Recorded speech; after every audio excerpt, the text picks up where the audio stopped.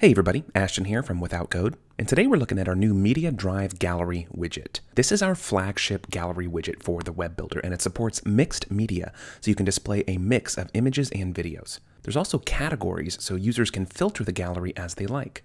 Categories can be configured to show a single category at a time, or as a filter where multiple categories can be selected. This widget links to Media Drive, which is our own media storage service. We built Media Drive differently from the ground up, specifically for this type of use. We do not compress or downscale or optimize images or video. This means that your media will not be degraded in any way. Now, it's challenging to use media on storage platforms and galleries because they're designed for storage, not hosting. It's actually notoriously difficult to even grab a proper URL for a hosted image on services like Dropbox, but Media Drive is intended exactly for this purpose, and it offers lightning fast streaming and unaltered photo displays.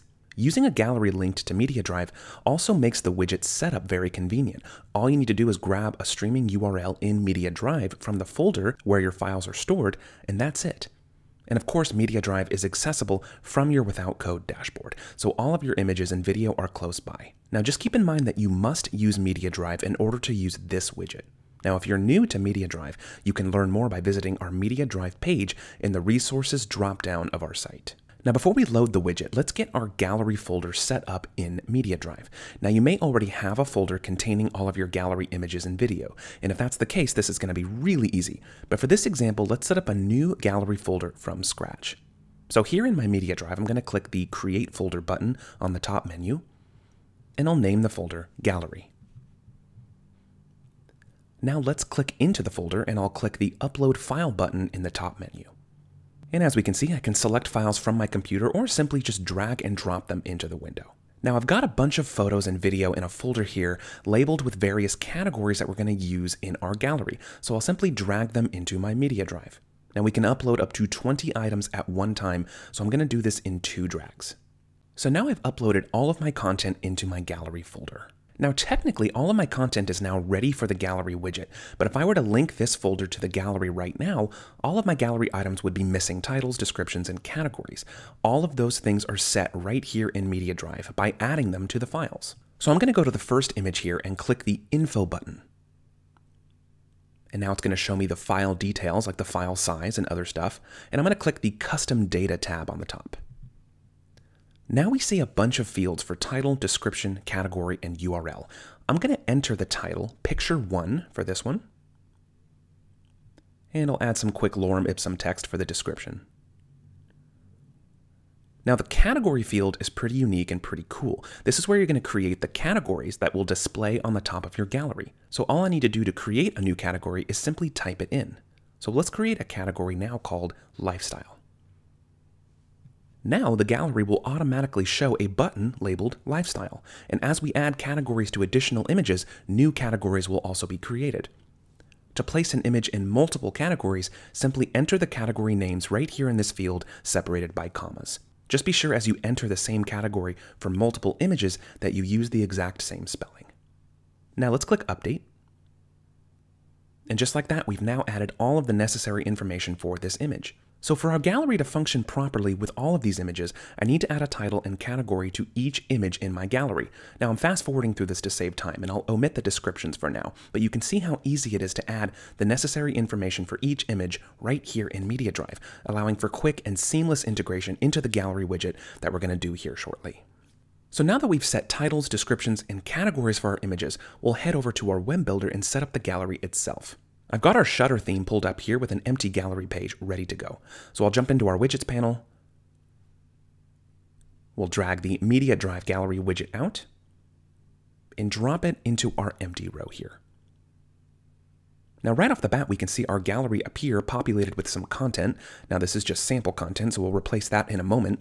Let's open the widget options panel. First option here is Unique ID, and you'll need to make sure to use an ID that is unique when using multiple instances of this widget on the same page. Right now, we're okay with the default. Media Stream URL. This is how we link our gallery with the folder that we previously set up in Media Drive. Now, the way we get the stream URL is to go back into Media Drive.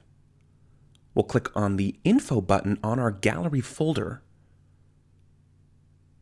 We'll enable Media Stream. Then we'll grab the streaming URL. and all we need to do is click anywhere in this box to copy it. We'll head back to the widget and paste it in the media stream URL. And just like that, we can now see all of our images and videos from our gallery folder populate the gallery. Now, as we scroll through here, you can see a couple of our thumbnails are just gray, and that's because we don't yet have thumbnail images set for our videos. So let me show you how to set those. We'll head back to Media Drive, and let's look into our gallery folder. And let's find our first video and click the Info button. And right at the top here, we see a Select Image button. We'll go ahead and click that, and we'll add an image. And just like that, this is now the image that will be displayed as the thumbnail image in the gallery. And when the user clicks on that thumbnail, a lightbox will open and display the video. Now, before I leave Media Drive here, I'm going to show you one more thing. Going back to my root folder, I'm going to click on the Info button on my gallery folder. Since we've made some changes in Media Drive, it's a good idea to refresh it, and we can do that by clicking the Update Stream link right here. This will refresh the folder and update the content in our gallery. Now back to the builder, if you ever have any trouble seeing your updated content in your gallery, you may also need to reload your browser page so that it pulls fresh data from the media drive. So now that we have our titles, descriptions, categories, and thumbnail images loaded for all of our content, our gallery is now looking pretty awesome. Let's give the page a preview. Great, we see our category buttons here, and they're filtering the gallery content as they should. Let's jump back into the widget options panel and go over the remaining widget options. Now we've already discussed the unique ID and the media stream URL, so let's open this right here, Gallery Settings. Our first option here for gallery layout, there's a drop down here that allows you to choose from uniform, mosaic, or masonry layouts for your gallery. If you choose uniform, it'll arrange all the thumbnail images uniformly with fixed aspect ratios. Height and width will be the same for all thumbnails regardless of the original aspect ratio. If you choose Mosaic, it arranges the thumbnails to form equal rows, maintaining their original aspect ratio, and they're all resized to have the same height.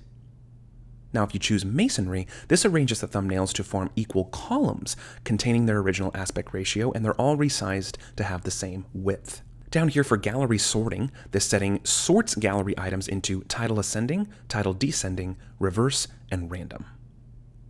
For display mode, this setting determines whether your gallery will show all of your items at once or whether to use pagination to break up the gallery into pages. Now, if you select pagination on this option, we get a new option for pagination style, and you can choose from rectangles, dots, or numbers. Here for maximum number of rows to show, this allows you to set the maximum number of rows that will be shown. Now larger galleries will display pagination if the number of gallery items exceeds the number of rows selected. So use this setting to control the height of your entire gallery. Gallery display animation. This is the animation style applied to the entire gallery when switching between categories. And gallery display animation duration is the length of time in milliseconds that it takes for the gallery display animation to complete. Let's jump down here to filter tag settings. We have an option for enable categories, which does just that. It enables the category filter buttons. And category filter mode, single or multiple.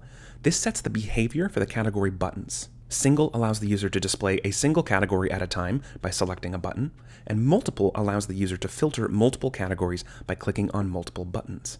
Now down into thumbnail settings, we have thumbnail width. Now this is an important setting that allows you to control the size of the thumbnails in the gallery. Now the options you see here will vary a bit depending on the gallery layout that you've chosen, either uniform, masonry, or mosaic. Now keep in mind that there is no number of columns setting because these thumbnail size settings automatically update the number of columns. For thumbnail padding, this sets the padding between the thumbnail images in the gallery. And we have link thumbnails too. You can choose from Lightbox or external link if present. The lightbox selection opens the lightbox when the user clicks on a thumbnail, and this is the default behavior. Now, external link opens a link when the user clicks on the thumbnail, and when using an external link, you'll set the link address in the custom data area of the item in the media drive. Thumbnail display animation.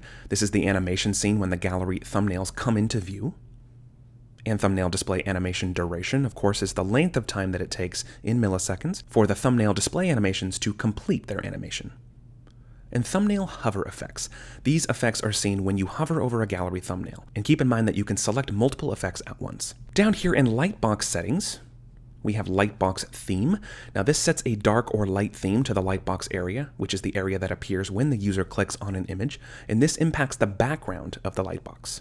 Now, the remainder of the settings in this section enable or disable various attributes of the lightbox, and each toggle is labeled with its specific function. Finally, let's jump over to the design section. Now there's numerous options here that allow you to style various elements of the gallery, such as fonts, colors, and dedicated styling sections for the gallery, lightbox, category buttons, descriptions, and more. Now all the settings are labeled with their exact function, so I don't need to explain each one in detail as they're pretty self-explanatory. Now, if you haven't seen our tutorial videos or documentation for Media Drive, I'd suggest checking that out. Now, those are going to help you get familiar with it and learn more about how it's different from other file storage services. As far as image optimization is concerned, as mentioned earlier, images and video in Media Drive are not optimized, compressed, or scaled down in any way. Images and video retain their full quality and therefore file size. So we encourage you to keep an eye on file sizes for images and video in your gallery.